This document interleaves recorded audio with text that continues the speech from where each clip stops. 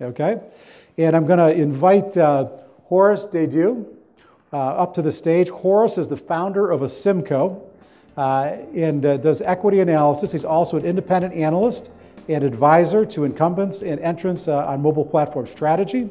Uh, Horace spent over eight years analyzing mobile software plat- uh, platforms and markets at Nokia. As a business analyst, he has a proven track record of achieving and exceeding predictive goals and objectives. Declared the king of Apple analysts. Now, there's quite, there's quite a, title by Fortune magazine. He's been an expert resource for Bloomberg, the Financial Times, The Economist, the, Forbes, and has been cited by, by over, over 350,000 times. Horace has an MBA from Harvard Business School and an MS in engineering from Tufts University. Please welcome Horace Dediu.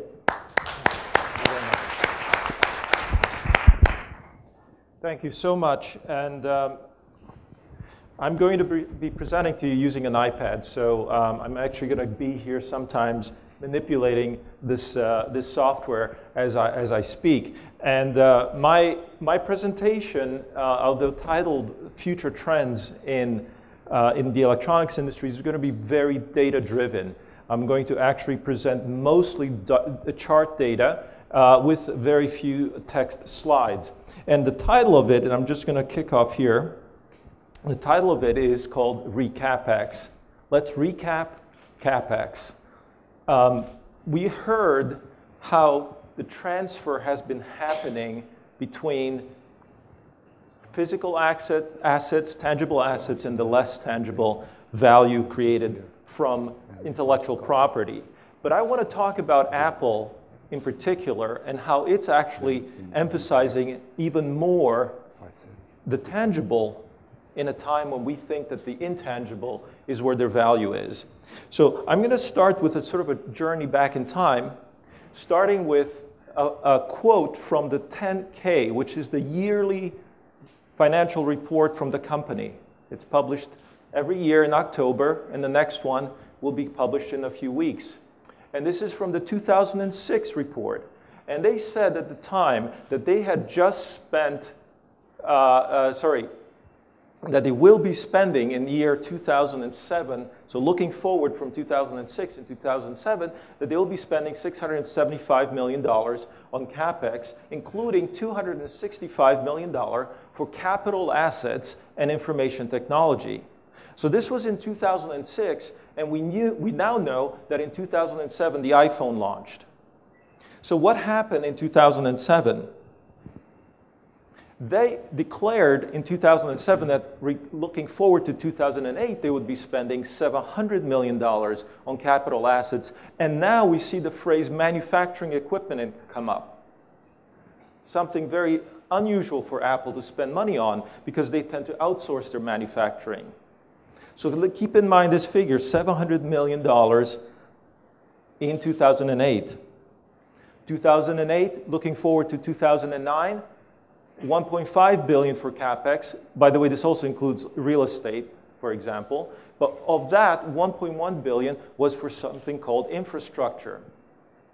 So as Apple is ramping up its operations for making iPhones and other iOS devices, its spending is increasing. And yet again, in 2009, they predicted that in 2010, they would be spending $1.5 billion. And now the phrase has changed product tooling and manufacturing process equipment, $1.5 billion for a company known for design and software as its key differentiation. That's 2009 looking to 2010. 2010 looking to 2011, $3.4 billion for product tooling and manufacturing process equipment. And these are uh, a, a direct quote. I didn't make this up. This is direct quote from their financial reports. And that was for 2011.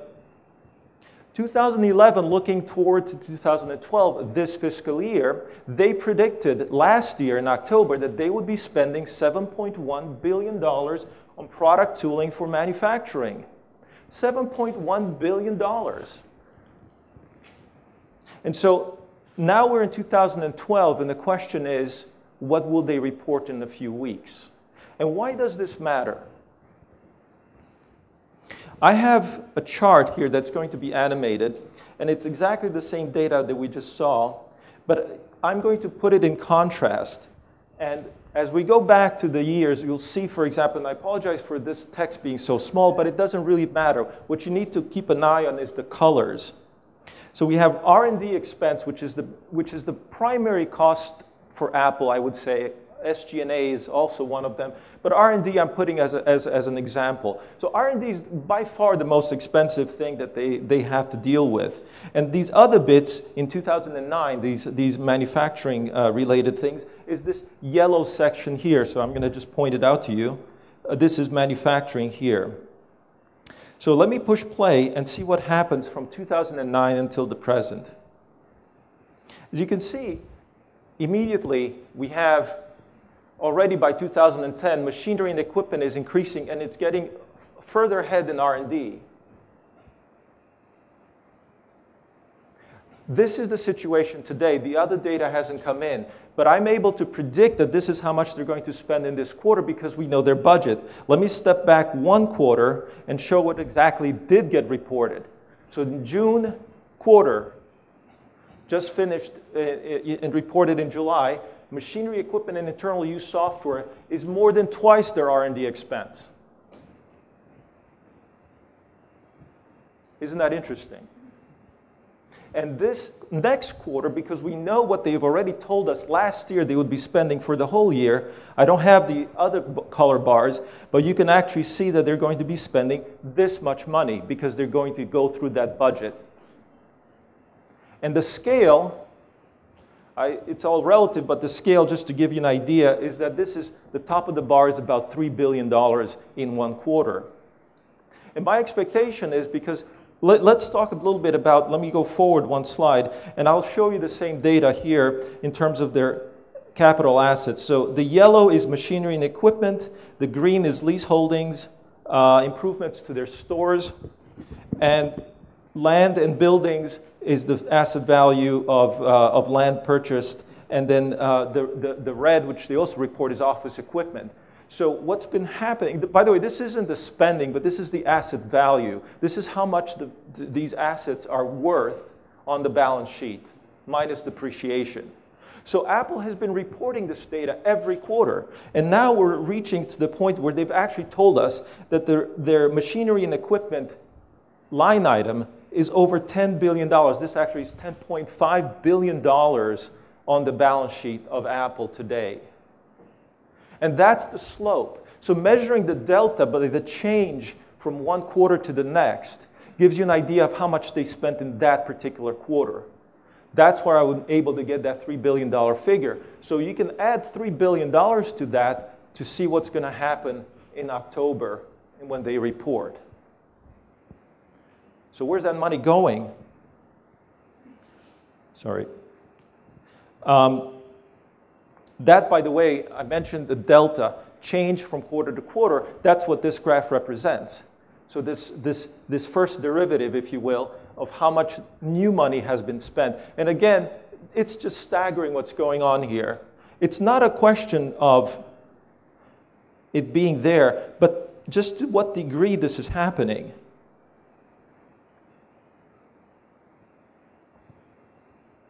And I wanted to sort of, I'm not an expert in this stuff in terms of capital equipment. I'm not a balance sheet expert. But I wanted to sort of understand, does this really, is this significant? It's significant relative to Apple's history that in five years it went from having zero dollars on its balance sheet for capital equipment related to manufacturing to having $10 billion on its balance sheet.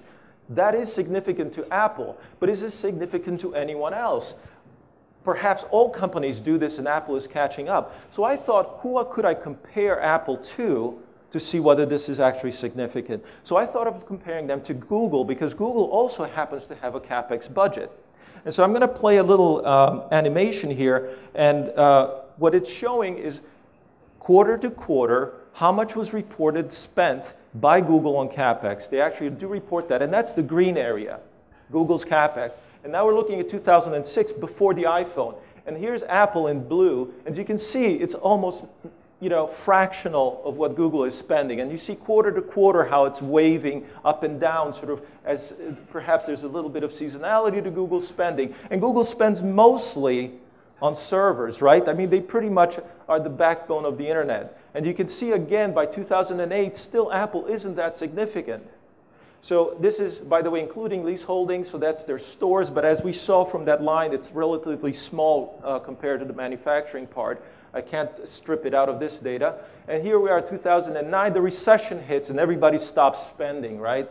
But then it picks up again towards the end of 2009 in December in 2009, and we're seeing parity now. Apple's starting to outspend Google by 2010. And then we have a burst, we'll see a little burst here, but as both bought data centers. And there's that hump right there. In December, there was a billion spent uh, between them on, on, on, on, on that uh, type of asset. But as we go on into September and then late 2011, again, Apple rises a little bit, slows down, but then look what happens this year.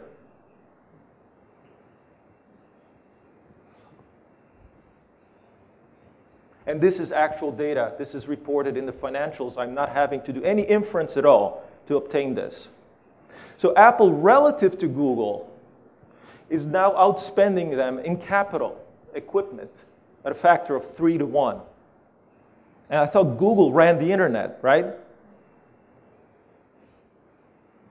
And the problem we have as analysts is knowing where this money goes. I still ask this question. By the way, this is the same data. Uh, apologies about blue and green being not really easy to tease apart here. But what we're having is here Google in blue, oh, sorry, uh, Google in, uh, uh, in green here, fairly steady, and then Apple shooting up. And we do see some seasonality, but still. In two more weeks, we'll find out what next year is going to be like, by the way. So, again, keep an eye open. Um, so, what is it being spent on, and why is this important? So I thought I, I would actually try to find a correlation between the Apple's spending and what is actually going to be created. Obviously, this is a huge commitment being made early on because they tell you in advance, and then they commit to that spending, and then something must happen for the shareholders to be pleased that this money is being spent. So I took some data where I essentially, I'm going to show you this, this chart here and it's, it's a little bit small, but again, you don't need to know precise things here. It's just a trend. This is a mix by color of different iOS devices that Apple shipped in a particular quarter. So we start with the first generation of iPhone, and that's a little bump we see there, the first generation in 2007, and then we get another little bump when they ship the 3G phones, and then we get another one when they had the 3GS, and that's the yellow area, and then we have another one when they launched the 4 and then we have the iPad as well, and the iPod Touch in gray, and then finally the iPhone 4S, you see they're in blue. And they're all stacked up on top of each other because they sell some simultaneously. at The, you know, they're being in the market, the older generations, and so on. And this is roughly just the shape of the iOS business. And it's grown very nicely, and it's had a little bit of seasonality, and there's an interesting mix coming together. And then I also took the data um, here of their capex, the data I just presented, the change from quarter to quarter of the asset value on their balance sheet, showing therefore what they spent, what they added each quarter. And there you see the shape of that graph. And I thought, why not try to see if they match? The problem is that it's actually not easy when you try to put the two data sets together. They don't match because it looks like that these are not very well correlated. But what happens is if you put them together in a certain way, so I'm going to try to actually do this in real time here. If you put them a certain way, this is, this is what they are in terms of um, the real time frames that they're, when they're actually spent and when they're gathered. And what you, what you have to do is actually move things back a little bit and adjust left and right in the sense that you can try to find out when the spending took place and when the production took place because the spending has to happen before production, right? You have to install the equipment or get ready for the customers a few months prior to, to the product shipping.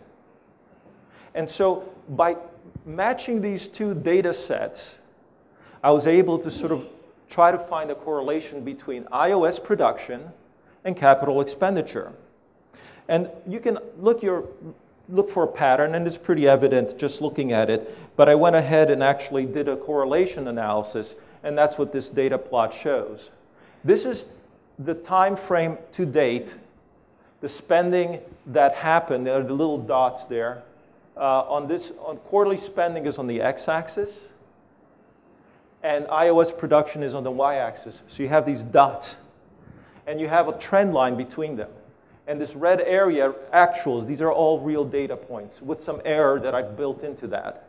And that, you know, that, that there seems to be a pattern there. By the way, again, I time shifted some of the spending to make sure that it accounts for this initial uh, time frame. And as we go forward, I'm going to actually reveal here what we actually are able to predict given the budget data. Now, I projected this line forward, which would indicate that maybe this is what will happen. And therefore, if we know the spending, as I mentioned, in $3 billion, then there will be 120 million iOS devices shipped. Now, it may not actually hold. There, there were some data points or anomalous or outliers, so it may not be exactly this number. But the trend is certainly there. And then again, in a few weeks, we're going to get a new data point, actually, uh, uh, four data points that we can project going out as they build, spend more. And so my, my analysis is simply based on looking at the financials of this company. I didn't have to speak to anyone to get this far. And so, what I'm here for, partly, is to speak to you, or you to speak to me, and understand perhaps we can all intelligently together figure out where this money is going and what's going to happen to this one company, which is one of many, but it's one that's quite visible and actually trend setting a lot of what's going on in the electronics industry. So I was asked to think about the future a little bit and try to think whether this actually tells us something that will change dramatically about this business. And so I came to this, to this um, um, forum thinking back in history a little bit. And I put together this type of, uh, or it's not even my invention, but it's a simple uh, chart showing the value chain of the computing industry. And at the top we have manufacturing equipment, the things that you need to build components. And then we have the materials, the raw materials needed to make components. And then we have components. And then we have product design, is how those components are put together. Then the assembly is the actual putting together. And then we have the operating system that ties the software together to hardware. Then we have application software that add value on top of the device. And then we have sales and distribution, which happen to actually make the transaction happen. And finally, field service to satisfy the customer as they're using the product. This is the classic value chain in many industries. It happens to be here. I'm trying to lay it out for, for, for the uh, computer industry. And the time frame is 1960 to 1980. 1980 to 1990 and 1990 till 2000. It's not quite the present, but it's, it's, it's close enough. And so I try to put together a list of companies that were actually engaged in all of these elements of the value chain at these different periods of time. So maybe you can help me. Um, but I think the first is IBM. In the 1960s, IBM was all over the value chain. They actually contributed value everywhere in this value chain. It was the era of mainframes. But something happened later on with mini computers. And companies like Control Data and companies like Digital Equipment actually began to take over some of the roles or compete with IBM in similar roles. And then we saw a sort of a transition happen where they didn't quite take on all the value chain. And in the meantime, we had companies like, like uh, these names, perhaps I'm, I'm I'm off on some of them, but I think they were involved in this equipment business, Teradyne and so on. And you had some, companies involved in, in materials. And the process by which things became more segmented is called modularization or, or, or value chain disintegration. And what we had for a period of decades now is that we had all these different companies that you know, were involved in components, and, and, and I'm going to just paint this picture with you here. Hopefully, this is uh, correct. We have more independent contractors. You have contract assemblers.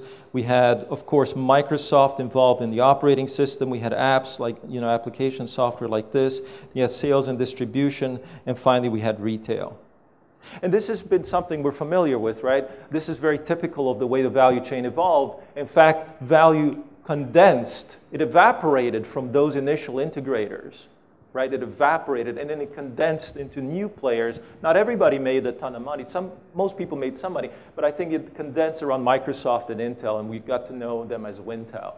And that was for a period of 1990 till present. That was really the dominant ecosystem or, or value capture. But I'm going to be a little bit provocative now and suggest that those times are over.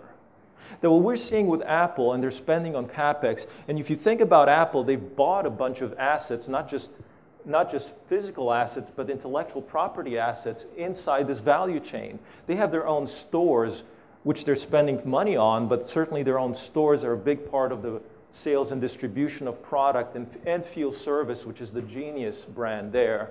And then we have them involved, as I said, in the equipment at the very beginning of this value chain. And we have them buying up things like uh, PA Semi to do design. Sometimes they fail, sometimes they succeed, but they're certainly playing that game, getting involved more in the circuit design uh, and component design. And they're doing a lot of work on their own miniaturization and their own chemistry for their own batteries and then for their own CPU design. And so I'm going to put forward the hypothesis now that actually um, it's Apple that's reintegrating the business today. And I don't think I've heard this, heard, heard this anywhere else. And I'm only basing it on data that's widely available. So I'm not sure why this hasn't become a common concern. And what are the implications of value chain reintegration? How will you, if you're a participant in this value chain, how will you benefit or how will you suffer as a result? An era where IBM, when IBM was doing what it did, I think there was a different ownership structure. What we're seeing with Apple is although they're involved in this value chain, I think their influence is less pervasive, if you will. I think there's, there's, a, there's a change in sort of in a, a, a way of controlling the value chain, but not necessarily owning it. And perhaps, perhaps it makes the, the participant in the value chain slightly lower margins, but it forces them to actually be pushing the envelope and innovating in new ways. And so I still have the open question of where is that $8 billion going? My hypothesis is that it's split between components for equipment building, uh, building, uh, sorry, uh, uh the equipment necessary to uh, build the components, and data centers. Data centers are one of these things that are some, some of the most expensive assets out there, and I'm going to actually put up a picture here one Apple data center costs $1 billion. In fact, they have built more than one. And this is where the comparison with Google is more relevant because that's what Google spends almost all of its money on. And, and there is a relationship between the number of data centers being opened and the iOS production numbers, obviously, but we don't have as tight a correlation as, as, as we, can, we would like to have. And a data center like the one pictured here in North Carolina, 1 million square feet. There's another one coming up online in Oregon, um, and another one in Hong Kong. And uh, these are driving 250 million iOS devices. And to, in iOS devices, as we noticed, are going very rapidly up. And I think it's possible that they're going to reach half a billion fairly soon. Android is already at 1 billion. Oh, sorry, Android is at 500 million as well, and they might reach 1 billion next year. It's that fast. And so I don't know the ratio, whether it's 20% on data centers and 80% on manufacturing equipment, but I would think, given we know the, the, the cost structures of data centers, that the data center is not the majority of the spending. Even though it's a 1 billion, there's only three of them. and that wouldn't account for the rate of spending necessary to, to make that 3 billion a quarter happen. A fab, as we know, a fabrication plant is cost 4 to 5 billion dollars. And Intel would need to commit to something like that for a new chip, for example. And Apple is not yet doing fabs, but perhaps they're buying enough equipment to equip the fabs for their partners. We don't know. And it's a mystery to me why this hasn't been discussed openly because the numbers are so big. $10 billion infusion of capital into an economy would show up in a lot of places. A lot of investors might be interested in knowing where that money goes, hedge funds, et cetera. They would like to know whether it makes sense to invest in this sector because it's about to get twice as much money than it did the year before. So I'm looking for answers here in Taiwan. I think this is the place where a lot of this money is being spent, but we just don't know. Right? So um, I'm going to just leave it as an open question, and I think hopefully you guys can debate this amongst yourselves and with our hosts. Because I really believe that if Apple is doing this now, that others will be doing the same thing soon. I believe that Microsoft will get into this game. I believe that, Microsoft, uh, that Google will get into this game. We've seen their acquisition of Motorola, and most people think it's about IP. But if so, they could have bought any number of IC, IP assets that weren't burdened with a 20,000 person team behind them that, that is very expensive to, to operate and also possibly to have to dismantle as they're finding out. So I, I think that the trend of reintegration is happening with Microsoft getting into the Surface tablet business and doing so in a somewhat exclusionary manner, very Apple like in a way it's certainly a, a part of a trend, right? And so um, I'd like to sort of just open it up for questions at this point because this is where I get to learn something. And uh, please feel free to sort of challenge any of my assumptions.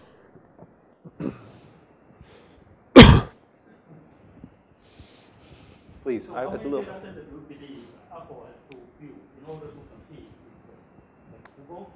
Well, they're building them approximately at the rate of one per year. And I think that they need to go a little bit faster, even, because their growth is sim simply faster than that.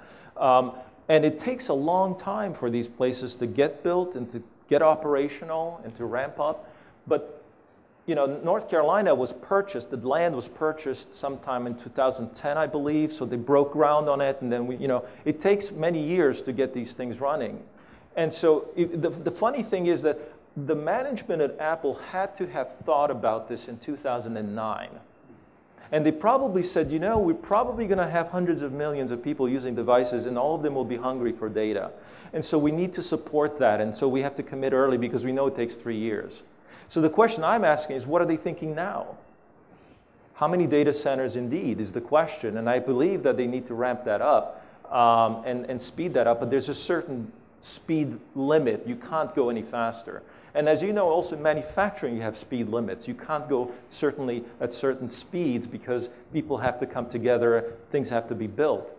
And that's, that's where I'm trying to figure out just exactly where things are going to go in the next few years and taking this data point as, as a starting point. Please, more questions. Uh, you've done a comparison of Apple and Google. Uh, what about Apple Apple and Samsung is a great question. The problem is that Samsung doesn't tell us much. uh, Samsung stopped reporting data of, of, of, either smartphone or phone shipments. They're the largest phone company in the world, and I used to work for one, Nokia, and we reported everything about our, our business. We reported how many phones we sold, in what region, how much margin we got, how many of them were smart devices, what margins they got. Samsung doesn't tell anything about any of its business with, res with respect to phones. We don't know how many phones they ship, and we certainly don't know how many smartphones they ship. So that would be the first data set I would like to see in order to compare their capex, for example. And the other problem we have is that it's a conglomerate and it doesn't really break out its cost structure either. So neither its revenue nor its cost structure is easy to tell. Although I suppose if there are people in the world that do have a good handle on it based on their own intuition or having some proxy data for that. And I'm not a, uh, strong enough on, on Samsung, but I, I think that would be another th thing where we could have a nice collaboration happen between experts and, and sort of sit down and ask this question. Is Samsung Electronics comparable to Apple in terms of the way we can measure their return on capital or, or, or other forms of, of measurement that we can actually compare them? This is the weird thing about the industry is just coming, people are coming from all different business models, right? And we know that the, the, way they report their business, like Google or Microsoft, it's very hard then to think that an analyst following Microsoft has to know how to do hardware now, how to do hardware analysis. But that's where we're going. Or people who used to be in the computing analysis business, like following HP and Compaq, and they got Apple to follow as well. They were trying to figure out how to, how to put Apple in a comparable situation with HP. But that's, the, that's why the analysis game is, is shifting. You have to be far bigger, more, more broad and more general in your, in your analysis of, of the industry. You have to really, really kind of take on a lot of hats, wear a lot of hats. But that would be exciting to look at the Samsung versus Apple discussion in terms of capex.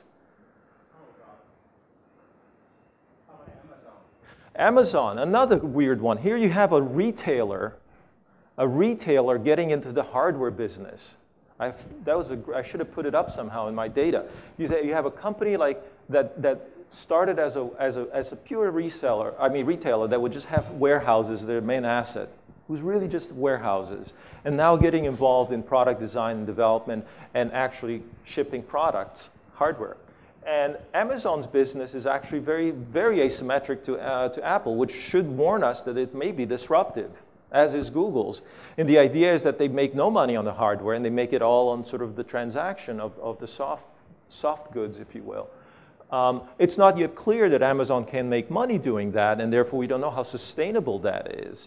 And we certainly don't know how well it scales. One of the criticisms I had about Kindle being a disruptive thing is that Amazon is only present in a few territories and can only sell it through that channel.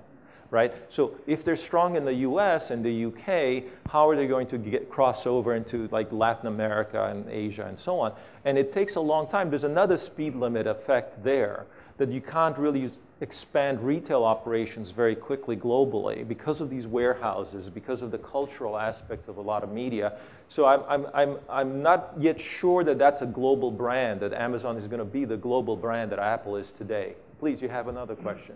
I understand it's not compatible with the value chain concept you have, but in terms of the capital spending, can you care to comment on how Amazon compares with the ah, Apple? Ah, capital spending, again, Amazon has probably significant amounts of that, but it goes mostly towards the physical plant of distribution, right? Mm-hmm. So they don't do the spending on, on the equipment needed to build. I think they're outsourcing a lot of the, the hardware. The, the new hardware business, the Kindle business, isn't yet capital intensive for Amazon. But we'll have to watch that very carefully because, as I said, Apple may be setting a trend and others will follow. And maybe we can find out by analyzing Amazon's uh, uh, statements to see whether they are breaking out machinery, for example, as opposed to, to uh, data centers and, and warehouses. They're very aggressive, though, in spending, as we know, right? They, they, they're, they're not profitable mostly because they're, they're, they're sinking a lot of money into, into infrastructure. And that's, that's causing their margins to really shrink please. So Apple is also sourcing, uh, outsourcing on their products, iPhones and iPads and so forth. And so why are they spending on the uh, equipment? Well, that's a great question, right? The assumption is that Apple pretty much lets others handle everything, right? In terms of doing the uh, assembly, Hon Hai and, and others are being asked to, to do the final assembly. But and, and you can follow in terms of uh, costs of components as well because we know the bill of materials and we can figure out how much they spend. This 10 billion, for example, a year or so is nothing compared to what they actually use to purchase components that are already manufactured. But this is why the, the mystery exists. Why are they buying equipment that normally would be sited on a factory somewhere? And they don't own that factory. They don't hire those people. But somehow they're funding the infrastructure that allows the product to be built. So it's in a way, I think, is a, a lot of their suppliers may not have the, the capital required to ramp up as quickly as Apple wants them to. So Apple acts as a bank and says, okay, we will actually pay for this equipment. We'll put it on our books and depreciate it, and then we'll dispose of it. But while it's in use, you cannot allow it to be used by anyone else. And once we're done with it, you must destroy it and not allow someone else to use it. So they get a lot of control that way. Because if, if the risk on the capital side is taken by the supplier, then after the job is done with Apple, they can turn that equipment and put it to use for a competitor of Apple's. And so Apple is probably, on one hand, helping scale the ramp quickly, on the other one, controlling by not allowing competitors to have access to some of the most cutting edge tooling out there. And uh, I, I, have one, one picture in my mind. I don't know what they're spending it on, but I have one picture in my mind is that they did this MacBook made of aluminum. And when they, that product launched, they showed a video of the cutting tools used to mill that piece of aluminum into, into a computer case. And the, the amazing thing was that people were observing that, that, that machinery and they said, I know what that tool is, and it's something that's only used on prototypes. And so if Apple put a prototype machine into production, they would have had to buy thousands of those machines. And so the supplier of that tool would have probably gotten an order book from Apple that would last them years and years because they can't make that many tools. And in so doing, that supplier could not be asked by any competitor of Apple to also sell them a machine. So they locked up all of the production of tooling for aluminum milling of that type of, uh, uh, that type of piece. And as a result, what happened? There's been no milled aluminum competitor PC that I'm aware of, of the same, same quality and specification that Apple had. And maybe that's what they're doing as well with the equipment needed to make the super thin aluminum backed iPhone 5 or the glass needed to make the iPhone 4 or any of the other screens they make sort of the thinness and all that. It gives them a differentiation. So that's the mystery, and that's what I'm trying to figure out. We have very little data. There was a, excuse me, there was once a talk that. Uh, Sorry. here. Ah, yes. Yeah. Steve Jobs apparently had summoned a lot of Wi Fi experts. The purpose, allegedly, was that they wanted to build an ISP or carrier based mm. only on Wi-Fi and bypass all the telecoms carriers. What happened to that? I, I think that would have failed, and and I know that simply. I, I, I, can understand their, their their desire to bypass carriers, and I was in a position to also understand the business from Nokia's point of view, and I think that the carrier business cannot be disintermediated, and that is simply because of scale. The carrier business involves 500 plus carriers spanning the globe in 100, you know, 150 plus countries. And, and they also span 6 billion consumers. And it's very difficult if you are in, trying to bypass in one country, you will be immediately forbidden from participating in any of the other countries. And so it's a very delicate situation if you, as, as, a, as, a, as a vendor to a carrier, to get into a relationship uh, with, with the carrier directly, actually. In Nokia's case, for example, they were using vendor financing to help sell network equipment. So as soon as they got into a market and said, we will help finance uh, the rollout of a particular type of switch uh, with one operator, every other operator said, we won't do business with you anymore. And so it's very challenging for Apple to sort of try to even make a step in that direction. So I think they heard back quickly that that will not be permitted and they would have stopped. It's a technical challenge, and I think the technical challenge can, in theory, be overcome, but it's a much more challenging business relationship problem and channel conflict problem that they simply could never overcome, not until operators are completely commoditized, and I don't see that happening for a long time. The network quality is still not good enough for us to take it for granted. And the price points haven't dropped so that we can all say, well, it's a throwaway, you know, pocket money to spend on, on, on, on network service. Right now, it's still a consciously, consciously valuable piece of, of, of, uh, of service out there. Yes? Take a look at companies like Samsung or HTC, what would be your advice to these companies Mm. with all your knowledge that the way Yeah. that Apple operates and strategizes? So let me just repeat that question for folks in the back. What would my advice be for HTC and Samsung that are in the value chain right now without a platform um, and, and perhaps without investments deep into the value chain like Apple has? Um, well, I've been saying that for a long time that they need to get a control themselves over the, over the uh, uh, platform uh, side of the business. So, for example, because they use, uh, their theory has been, and I think this was true even before Apple, their theory has been that they will actually license multiple operating systems and, and keep, keep the operating system vendors as suppliers and have a balanced uh, a, a balanced access to suppliers and minimize their, their you know, the classic Porter five forces analysis is supplier, supplier um, uh, advantages are, can be, can be uh, minimized. Um, and that hasn't worked because it turns out that the customer, the consumer, values that experience above the hardware now. So, or it, it's likely to in the future. So the challenge I've always maintained is that they need to get into the ecosystem business. And, and Nokia knew this. And that's why they tried with Symbian, failed, and then they're trying again with Microsoft. And Microsoft is desperate enough to get into that type of deal. And, and they're saying, we're not going to play the Android game because we think that's going to be commoditizing us very quickly. Uh, and so they got into the, the strategic mindset of, of going on, on an ecosystem play. It didn't work out so far, but, uh, but that was the logic, at least, even a few years ago. And so one could say, well, it's nice in theory, right? It's nice in theory to have your own platform. But look what happened. Look what happened to RIM. Look what happened to Apple. Look what happened to Palm. They all went their own way and failed, you know, vis-a-vis your, your now iOS as the dominant and, and, and Android as, as, as dominant in, in terms of Google.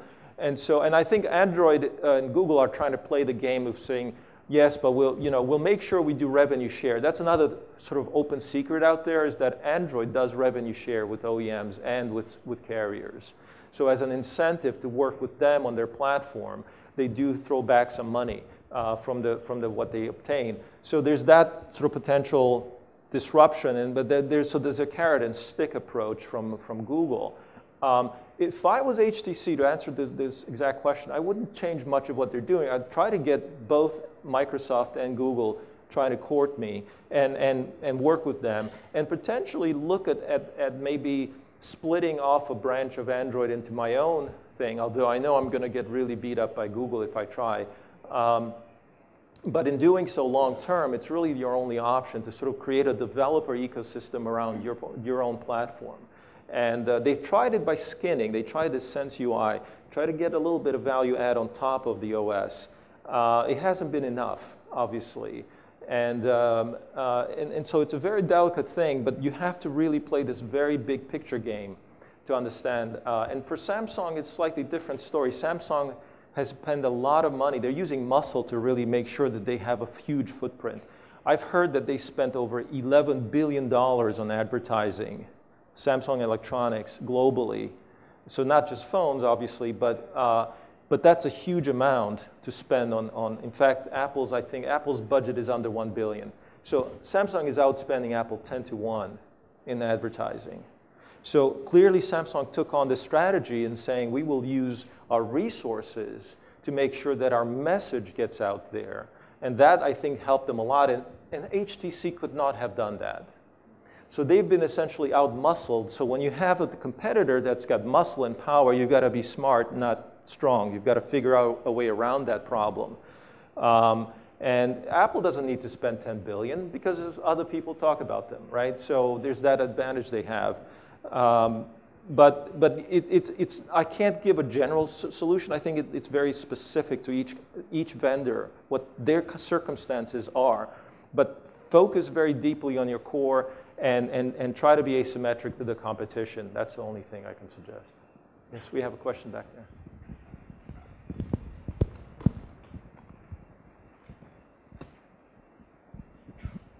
So uh, my question is uh, to ask you to look into your crystal ball and go past.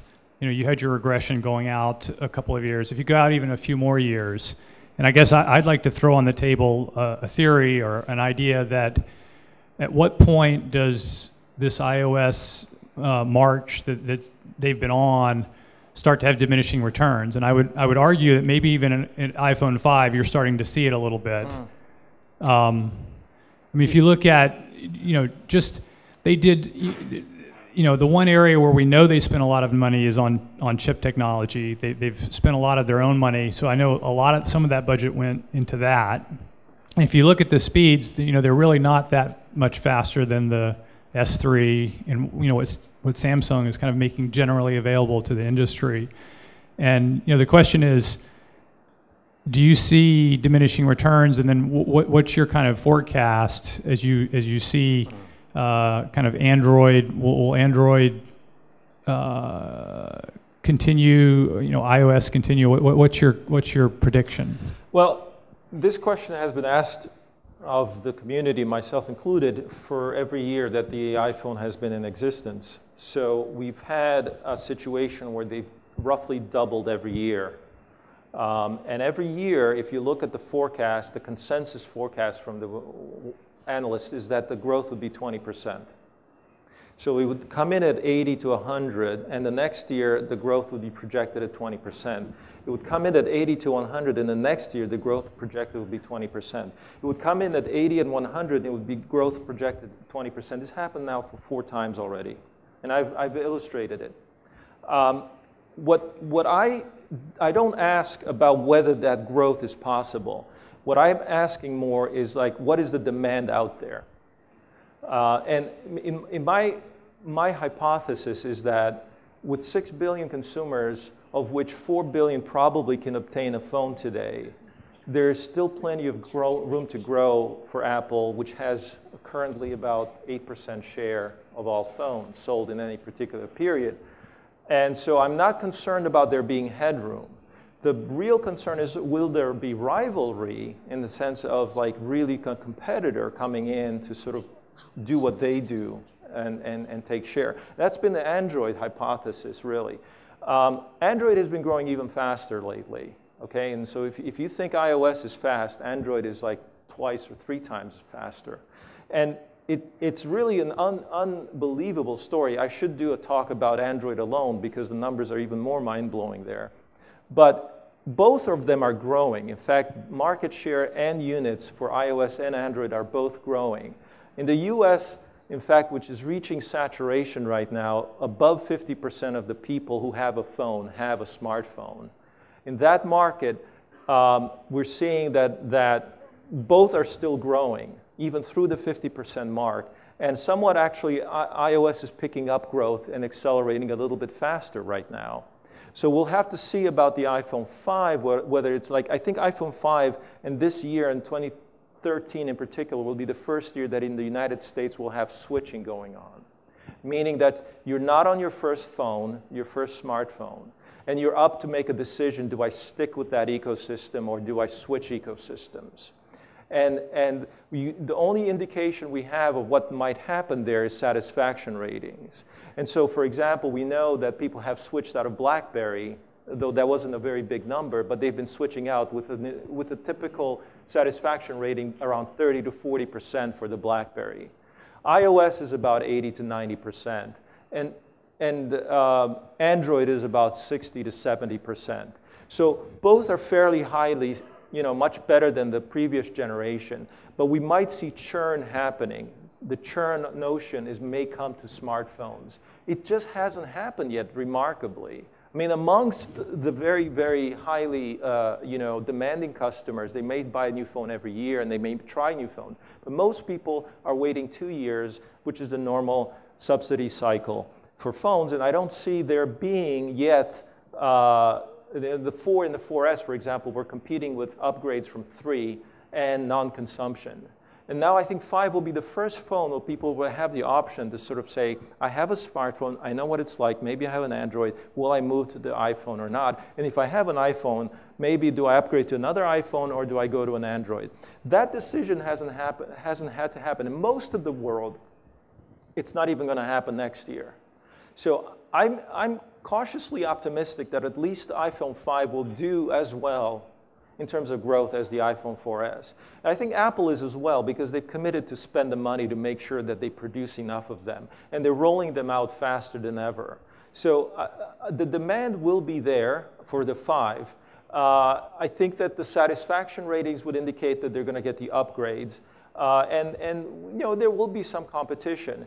And what, what typically happens when you reach that point of massive rivalry between, uh, between uh, participants is that the margins start to go down. And you see, you will see, uh, that's where I would watch very carefully if we ever see erosion in Apple's margins. But so far, the price of the iPhone has been extremely steady throughout its life. If you take the revenue, divide by units, you get the revenue per unit. And that has been consistent for iPhone since day one at about $550.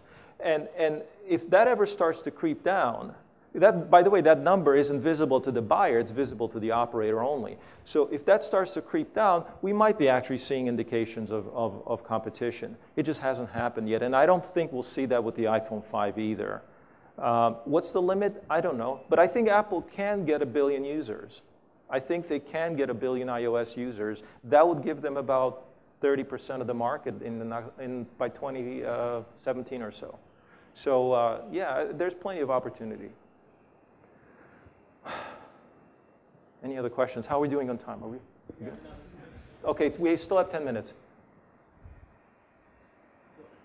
Yes. Uh, other companies are not making these kinds. Other companies are not making these kinds of huge capital investments. They're choosing to rely on suppliers of existing product. Mm. What is it, uh, in your view, that Apple is actually getting when they spend a billion dollars, right? What does having these uniquely milled uh, uh, aluminum enclosures or uh, designing their own chip, what, what is it actually getting them? And, and, is it possible that, that maybe they're not spending their money that mm. wisely? Well, it's a very good question. I think perhaps this hasn't reached a discussion level even within equities analysts, because I think if it did, they might actually start to really criticize Apple. How dare you spend the shareholders' money on, on capital items? Um, uh, the, a couple mitigating things. Number one, these machines are going to get used 24 7 for the period of, of production because you know the demand is such that they need to ramp up. When you use something so intensively, it actually depreciates much more quickly. So it comes off the books in two years. And that's actually interestingly the life cycle of most of their form factors. If you think, why does the 4 and the 4S look so much alike? It's because the equipment that's used to build them is actually probably still depreciating into the next product cycle. So I think there's some, some, uh, some thinking going on at Apple about these things and trying to make sure they don't end up with underutilized equipment that's going to burn a hole in their pocket. Uh, the other thing is that it does give them control when you have a unique process. Maybe it's batteries, maybe it's screens, maybe it's CPU, maybe it's mechanical uh, components. When you have something so unique, it gives you an advantage in the marketplace. It lets you maintain that margin that we just talked about. That's great. That means you know they win on that on that basis, and it keeps competitors out of that space. Um, but I think the biggest driver is that they simply need to get the stuff out quickly. Let's not forget that they place all their bets into really one, uh, one product or all their eggs in one basket. And when you do that, you don't have the benefit of sort of balancing things out. And, and so when you make a huge commitment like that, it's a blockbuster mentality. You've got to make sure everything gets together at the same time. And that, if that costs you money, by all means, but we're going to get a, a, blockbuster. You really, you know, think like, you know, should I produce 10 movies and hope one, one hits? Or should I really make one movie like Pixar does and it's always a blockbuster. And it takes me four years to make it and 400 people, but I'm going to be a, a blockbuster manufacturing company. And that's really, I think, the DNA at Apple is that we don't believe in portfolio theory. We believe in blockbuster theory. Every single product has to be a blockbuster. And so we may not actually launch a bunch of stuff, but when we do launch, we commit extremely heavily. And you have to have courage and you have to have a great sense of what will sell. And so far, they haven't flopped because what might happen this is, the, this is the nightmare scenario. You spend $10 billion on capital equipment, right? You make all this commitment, you build these products in a rush, in a six month window, and nobody buys them. And that would really completely like uh, cause the company to fail. And I think that's why actually Apple is so poorly priced in terms of its PE ratio, because people really think it's on that cusp all the time. It, anything in the next few weeks will determine its life. Every single day, something can happen to unravel the whole thing. But it's a very, I think this is the Jobs idea, was that Steve Jobs really tuned the company to make sure that they hit a home run every time. That is, in fact, he said it, you know, you know, Babe Ruth was asked, you know, how do you do what you do? He said, I only have one swing. I only have one thing I do, which I hit home runs, but I do it a lot. And, and so Apple has the same philosophy, and Pixar does too. So that's where I think the DNA came from, actually, the realization that you can do this. You, you discard the idea of sort of guessing. You make a very strong, committed bet, and the capital makes it happen. That's really the story here. Capital and capital equipment ensures that you can do this. Had they not spent the money, they may not have gotten the product out as quick, and you'd lose that market window right? You'd end up shipping in too late and not enough. And that's what happened. Uh, actually, Tim Cook is the genius behind the, the, the ability to execute on that, on that strategy. But I think the idea of doing it this way came from Jobs. Question back here. Yeah. So uh, there's this, there's buzz in the press about uh, Otellini and Tim Cook having discussions about Intel becoming the uh, semiconductor supplier for, for Apple. Yeah. What is your thought about that? I just tweeted yesterday that Apple should buy Intel. and I did it almost offhandedly because I, I was reading a story from Jean-Louis Gassée, who's actually a, a former executive at Apple, and, and, he wrote about the difficulties that Apple is having separating itself from Samsung. And then I realized, when I was reading that, I realized that what really Apple needs in terms of a supplier is, like I said, capacity to build semiconductors at a rate of hundreds of millions a, you know, a year, but it ultimately might end up being 100 million a quarter. And if you think about what, what you need to make that happen is you need fabs committed to your process, fabs and equipment. And I thought that Intel has that, but Intel has a lot more. They're not valued on their assets, they're valued on all the other things. So most people would say, well, why would they want the other stuff? And why not just get a semi, semiconductor plant uh, or build your own? And I think uh, the logic of doing something with Intel is that Intel has design capacity and production capacity. And Apple needs both going forward. And I think the only way you would ever make a deal like that happen would be if you were to look at that asset and said, if I took it in house, could I make it even bigger than it is today while cutting off its customers? That's what needs to be, the thinking has to happen there. If you took away Intel's customers because they, would all run away to AMD or something, if you took away Intel's customers, could you still make that entity worth more than it is today, which is at about $100 billion? Uh, but Intel is worth less than what Apple has in, as cash. So uh, certainly they could afford it. Uh, maybe the premium is going to stress them a little bit, but but I, let's not talk about whether it can or will or whether it's, it's going to be agreed upon by the authorities. The bottom line, though, is that's the game. The game is about capacity, design capacity, as well as production capacity, and it's in the hundreds of millions of units. And it's actually bigger than the PC industry. And so the device space is going to be far, far bigger. It's already been selling, outselling the PC industry, and these devices are as capable today as a PC was four years ago.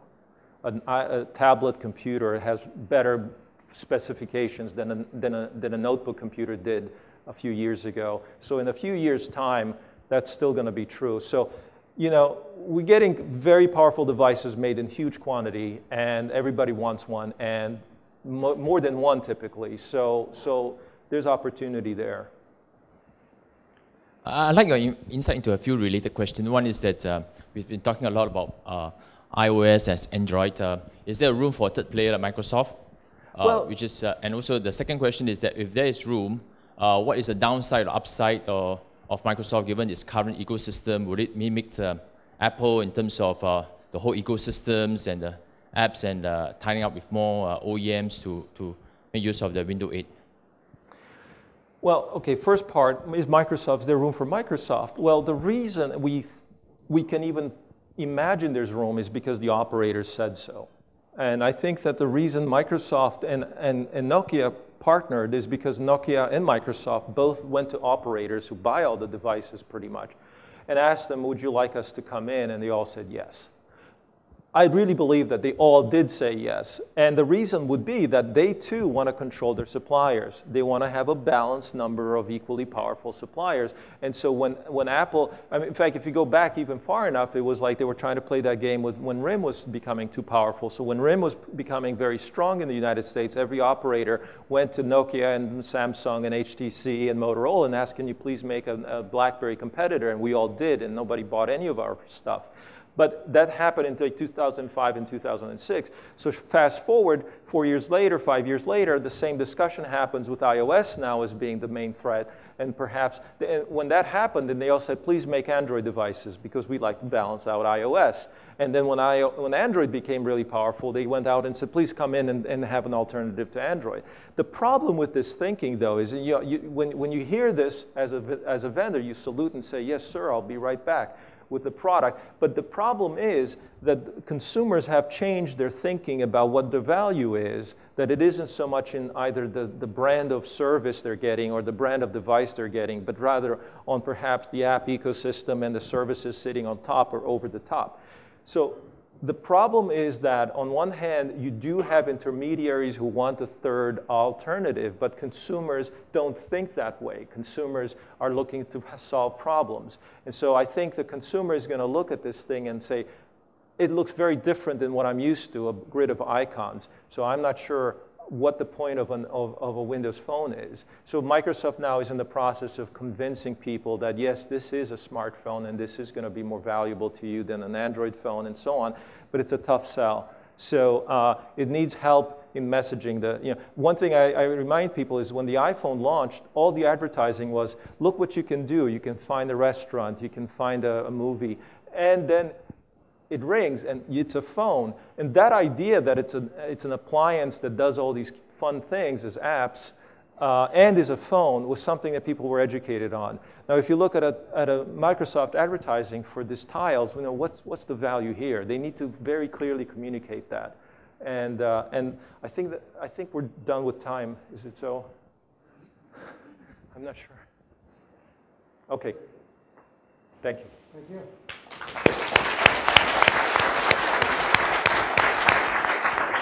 Uh, Horace, I wanted to thank you very much for making the long trip here to uh, Taipei, a little oh, gift. Thank you very much. Um, what you've got is one of the original one of the original IBM products, which was a cheese slicer. Oh, really? No, I, am kidding. I'm kidding. I have no idea what's in that okay. box. Thank you very much. But I think if you think about, you know, the transformation that um, Horace told us about in terms of, you know, where Apple was what they saw in the marketplace, um, what they're investing in. Um, all of us, you know, can kind of uh, identify with that. IBM can identify with that. Markets come and go. Companies can endure if they really uh, choose to innovate as they go through their lifespans. And that's really what we'd love to have a lot of the conversation be about. Um, I know that I've got a number of our IBM clients here that I've had the pleasure of working with uh, directly. And as I've listened to a lot of the things that you're working on, it is about transformation. It is about change. All of your industries are moving very rapidly. And so uh, as we go to break, I'll give you that, uh, that, uh, uh, that thought. Um, you know, think about the art of the possible. Think about it when you've got a, uh, a cup of tea and a, and a, uh, small treat in your hand, and let's have some good conversation. Um, we're going to reconvene at 3:45. Yep. At 3:45, uh, and start to talk about what we're going to do with all this data that's coming back from these billions of devices that are out there. Thank you, and we'll see you in, in 30 minutes.